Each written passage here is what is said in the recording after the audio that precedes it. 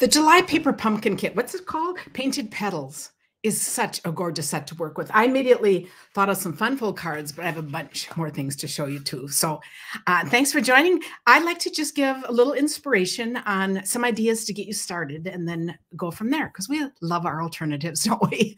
So Paper Pumpkin, it's Karen Titus stamping on the back porch. At this pretty box this time. It's really a lovely box.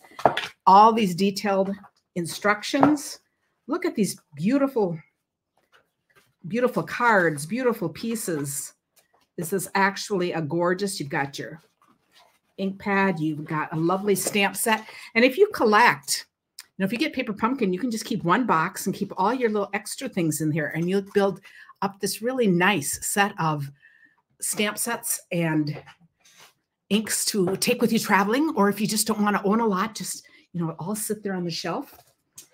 So I started, I went ahead and just stamped all these. They would be ready. These are all using gray granite and they're all, um, so the words are, you're simply the best. I'm so lucky to have you in my life. Let's celebrate you. Friends like you make life beautiful. There's also a lovely flower. I'm not even using that. A little hello and a line. So really a fun little stamp set. And I thought I would first just make one quick card, uh, kind of the way it's talked about and but we're going to change it right away into something else because that's what we do. So i am going to start with just look how pretty this is.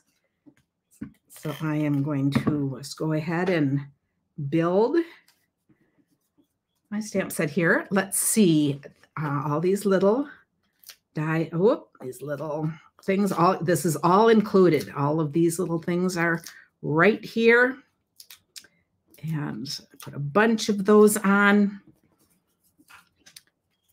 Oh, I even got double on there. So we're just using plenty. Take those off. And then I'm going to set it off side like this. So it's kind of like this beautiful little shaded area. I'm going to put this right across the top here. So I'm actually going to just put a little glue dot on there for right now park that right there. Maybe up a little higher. Let's see. See, I like to be able to change my mind. I'm going to put that right there. And then we would add some gems. So I'm going to wait on that right now. So the first thing I'm going to take, I'm going to do this one and we're going to turn it into a fun pull card like this because I just don't need a card that's so gorgeous on the background, I, on the backside. I just think that is so stunning. So the first thing we're going to do is take this and cut this off. So there's the outside. And then I want this to be five inches by three and three quarters because this is going to be my, my uh, base card. So this piece is going to be four by five and a quarter. And then I'm going to need this to go down to three and three quarter I'm gonna go around all the edges here. Three and three quarter. And then this, we want to be five. Let's see. I could have done this before I put the other on, but that's okay. We'll see if it uh, takes any of my pretty pieces away, but that works well. There we are. Okay. So now this is going to fit right on here. Because this is already popped up, I'm going to actually put my adhesive on this part because then when I will lay this on top, I have this to work with. Okay, so this I want to do a Z fold. And to do a Z fold, this is my regular card base. This is a regular card. And I'm going to take the scoring part and I'm going to score the card front in half. So if this is four and a quarter, then this is going to be two and an eighth. And I'm going to score that. And then look how pretty this is. I'm going to put this right on here and it's going to give it that lovely background all the way around. I want to make sure I just put adhesive on this part. Just easy ways to change up a card. Um, I'm going to have it pretty equal all over. And then I'm going to put this on the inside. So I need to just cut it a little bit smaller. I could actually, well, that's interesting. I could actually leave it the whole amount.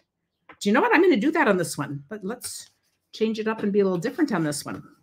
We're going to do the full amount and then I'll show you uh, the difference on the two. And see, that's the part I cut off. So let's let's try to get this on as straight as we can. We don't want to go straight out to the edges. Because now it's, oh, I like that. Now we're going to have a solid part and a little bit of there. And when we open it, so here's the one that's finished. When we open it, then I just put a little thing to write on there. This is probably light enough. You can even just write right across here. Otherwise, you're just going to add a little piece to put on that. But I think that's really fun because when you open it, then you're seeing both side by side. That's going to need another little thing. Um, you're seeing them both side by side instead of having to flip it over to see it. Does that make sense? There is Funfold number one. Okay, now we'll do an easel card. Easel cards are always just so easy. And it's going to go like this. So on this one, we are going to use, this one I've already finished. So I'm going to cut this the same way as we did the other. I'm going to cut this off. And actually, I'm going to take this little green part here, and I just want that to be four by one and a quarter. So I'm going to go ahead and cut that too. Cut that, and then this one will be four. I'll set that aside. This one then, again, I'm going to want to be three and three quarters by five. So I'm just going to find a good place to cut that off on one side. Oh, that actually made three and three quarters. I didn't even mean to do it that. And then I will cut this one, and this might make it right to five too. I'm gonna go ahead and do it that at five, just to be really quick here. So here's my front piece. And now I am going to also put this on Mossy Meadow this these are just stunning. I think these are such lovely cards. And doing them just the way they are too are just beautiful cards. You would just love to send these. So now we're just going to put this on a base and instead we're going to do, you know, this is so similar to doing the Z fold this way. Do you see how we did this one vertically? Now we're going to do it horizontally. I need to make sure I have my uh, scoring blade, not my cutting blade. So I'm going to score this in half. So that's going to be five and a half because you'll see this would make it the same base size as all the cards. And then I'm going to put this in half going this way. So that will be two and three quarters.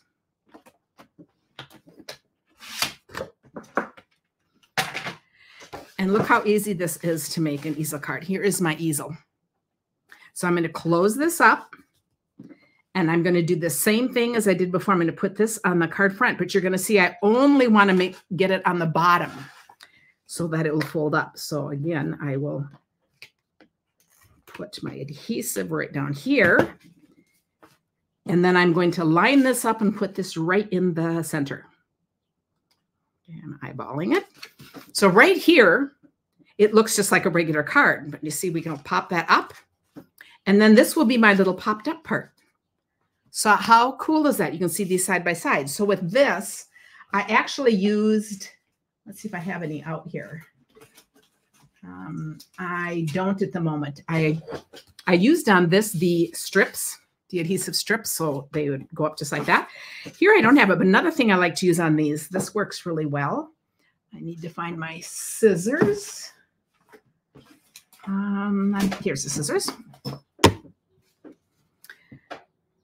And I'm going to take the edges.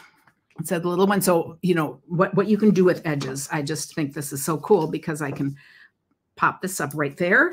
And then let's take another edge over here. I cut my edges apart too to make more little ones, but this is also a great use when you're doing something larger like this. Okay, I should probably have a little bit on the side. So Sure, I'll just cut a little bit more here. Let's do one here and one here. I'll just cut these two little pieces here. And here, and see, I won't have to cut those apart.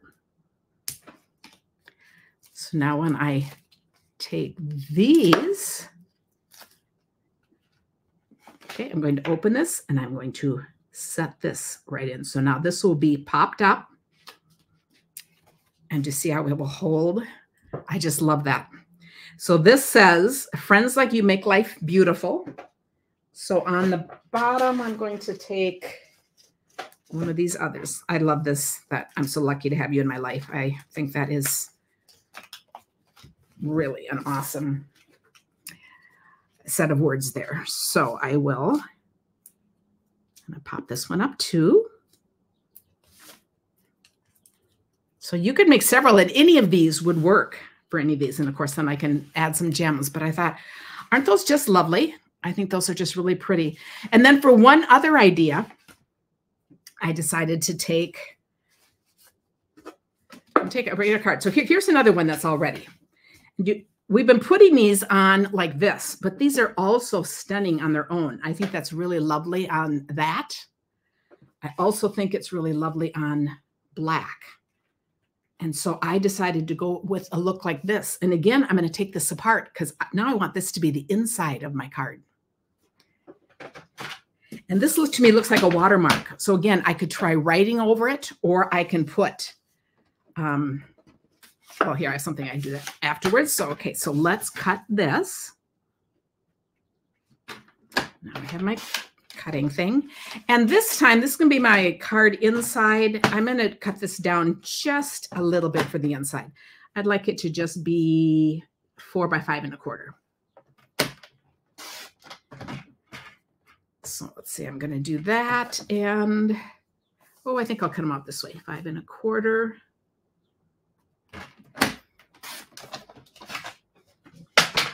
So now here I have my white card base. I'm going to put this on the inside.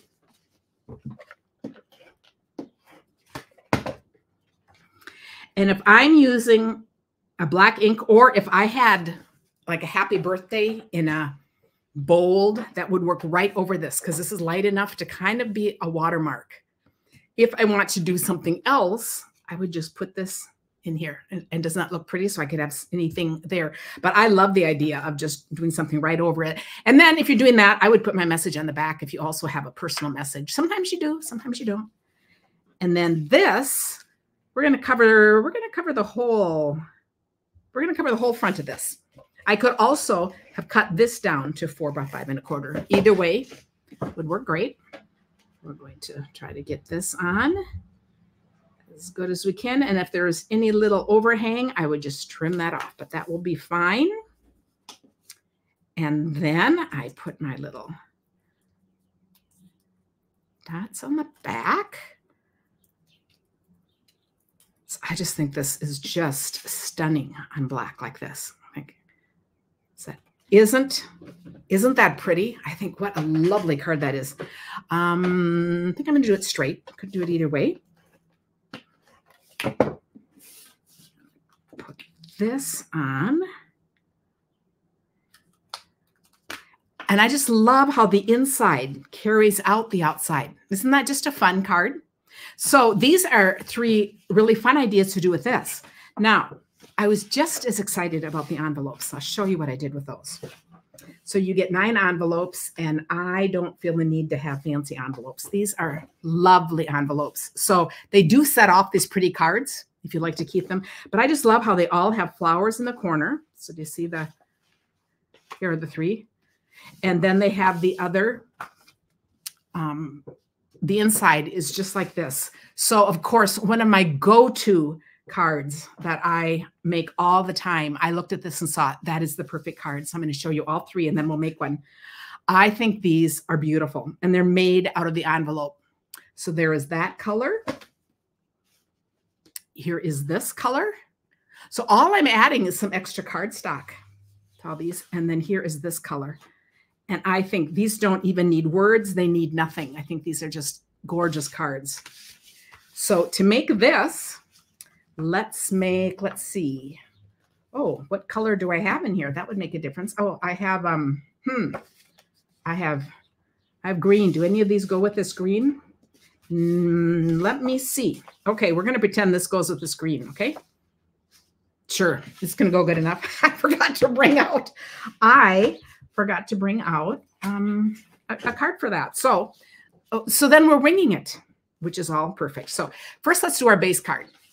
This is half a sheet of cardstock again, folded, um, scored in half folded. And this is our card base. Now to make a card like this, I'm going to put this in at the one and a quarter mark.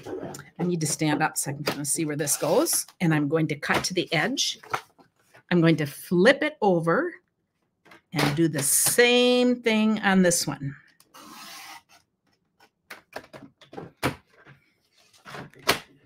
Okay. Whoa. And then, we send it flying. And then just adding adhesive on these two parts. And we are folding this down, just matching up the corners.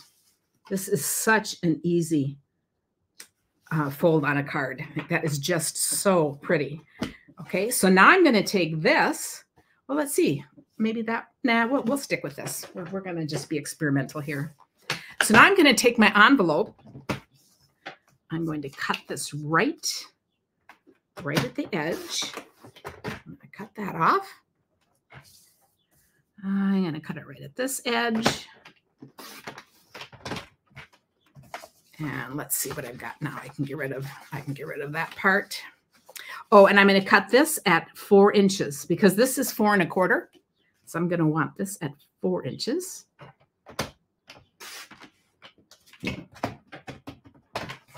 Now, this part, if we measure this part, this is three inches. So I'm going to want to cut this at two and three quarters. So I'm going to take that. There is my two and three quarters. And then I need two one inch strips for the sides. Because remember that we cut those at one and a quarter. So there's a one inch. And these are going to be the flip sides. And here is a one inch. So these could be mass produced and you could do a whole bunch of these at one time. But here are my pieces.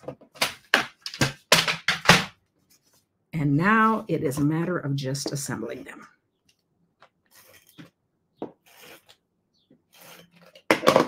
Okay, so we're going to put these on the sides. My uh, YouTube studio is in our living room. So it, this is not our craft room. So I don't have things, you know, totally handy. So sometimes I have to leave and find things. Otherwise, I make do with what is at my fingertips. I do live in a craft house instead of having a craft room. And then I cut out a piece this same size of just white. You see, I made several so I can make finish up the rest of these. And this will be the same size to go on the inside. And then we're just going to embellish it. So how cool is that? So then we have all three of these. So you could get nine cards like this. And I think in sets of three, these would also be a beautiful gift. Just tie them with a ribbon or something. And I thought, isn't that fun? So those are ideas just to get you started Paper Pumpkin. There's a link below if you're interested in um, subscribing and trying out Paper Pumpkin. And, um, you know, ideas generate ideas. So now I'd love to see what you do with this over in the Back Porch Stampers. Thanks for watching.